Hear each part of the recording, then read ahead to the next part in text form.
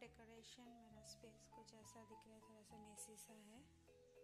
तो चलिए शुरू करते हैं।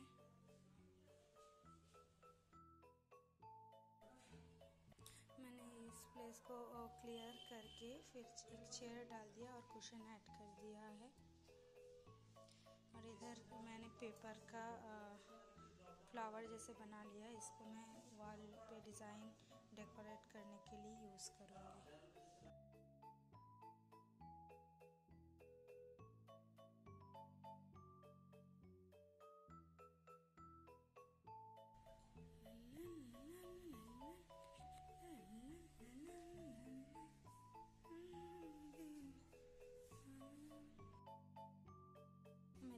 एक पुराना शादी का कार्ड का जो कवर होता है एनवेलप वो था, उसके अंदर मैं, मेरी सिस्टर एंड लॉ का बर्थडे है तो उसका एक फ़ोटो डाल दी हूँ। और उसी कार्ड का जो पीछे वाइट बैकग्राउंड था, उसमें मैंने ये हाथ से लिख लिया है मैसेज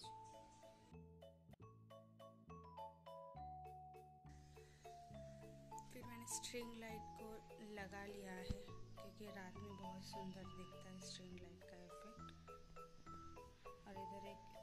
ट्री लगा लिया इंडोर प्लांट्स जो है मेरे पास। ये मेरा बालकनी में था तो पर आज का जो डेकोरेशन है, उसके